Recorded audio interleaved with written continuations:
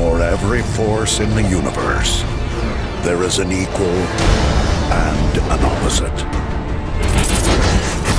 For every hero,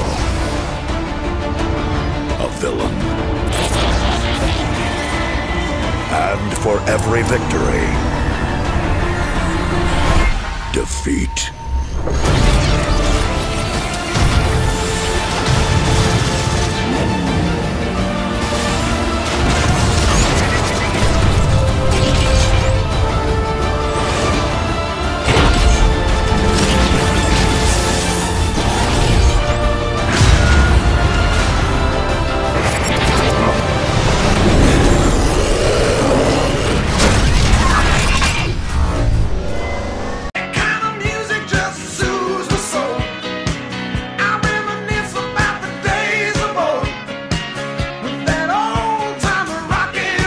Sorry, what the fuck was that? Keep going. Oh no.